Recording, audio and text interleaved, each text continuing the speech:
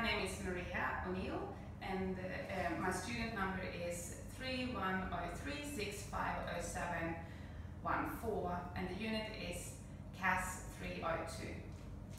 Good morning, I'm Maria, I'm, an, I'm a vet nurse here. You're here today to learn how to groom a schnauzer I am indeed. and also looking in to buy some uh, equipment for grooming. Yeah. Have you done any grooming before? Not really, no. Okay, I'm happy to show you. Yeah. So um, the first thing, when, before you start the grooming, I would recommend you to give her a good bath. So um, does she have any skin issues, or you have with normal shampoo? Yeah. Uh, a shampoo that I would recommend is the Aloveen. Mhm. It's an oatmeal shampoo and it's very gentle to the skin and it's a, a lovely smell. Yeah. So yeah, you can uh, first use the shampoo and then uh, after you rinse that out and dry her, Mhm. uh, you can just use a little bit of uh, this conditioner and you put them in your hands and then smear it all over your body and make it really soft and lovely. Yeah. Yeah. So um, yeah, before the grooming, yeah, make sure she's completely dry. You may want to use a hair dryer to blow dry her. Yeah. Yeah. Sure. Um, the grooming will be a lot easier with a clean uh, fur. Yeah. So, um, the clippers that I would recommend is uh, I've got them in a box here. Sorry, sweetie, just in there. Uh, it's Wahl, uh, KM2. They're really good, strong clippers, and the good thing with them is they can, you know, change the blades to the size that, that fits you. Sure. Yeah. So, uh, you know, that you can choose what length you prefer, Mhm. but what I would recommend you is the blade 10 for her body, upper body, and uh, normally for her ears and maybe the chest if you want to, you can use a shorter blade. So we also sell blades, Mhm. and so this is a 30 blade, uh, and it clips a lot shorter than the 10. So that will look really, looks really neat and lovely. Um, uh, the blades, when you are clipping, they can get a bit hot if you go on too long. So just keep an eye on the heat, so so she doesn't get burned on the skin.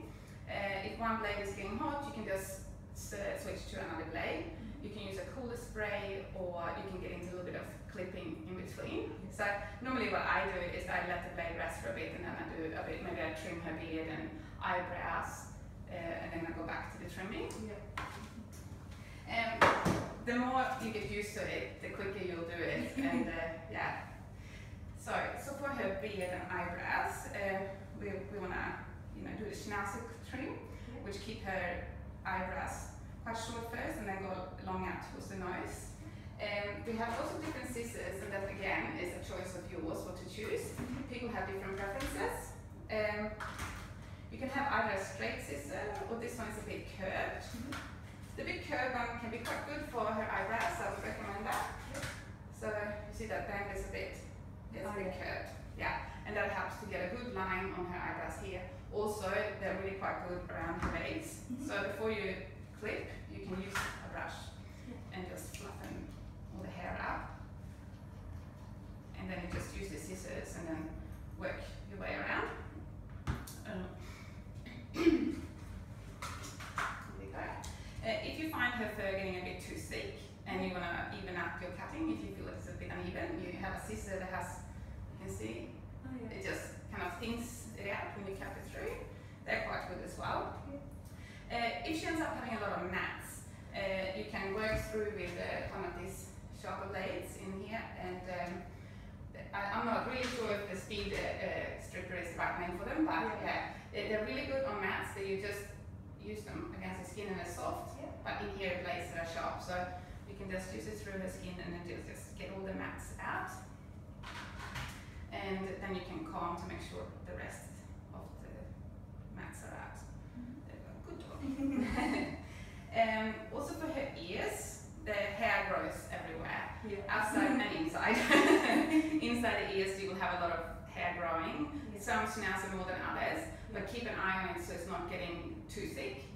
Yeah. If it looks good, not red, not irritated, you have no issues, maybe best just to leave it. Yeah. But if you feel like it's getting too much hair in there, you want to get rid of it. Yeah. And, and one easy way is just to, with your fingers, just grab some hair and pull it out. You can do that. You can also use tools to get it out, but that's probably most gentle because you just have a good feeling of how hard you're pulling. Um, after you've done that, you want to use an ear cleaner. Mhm. Um, I would recommend this Oticlean for just normal ears that are not having any issues.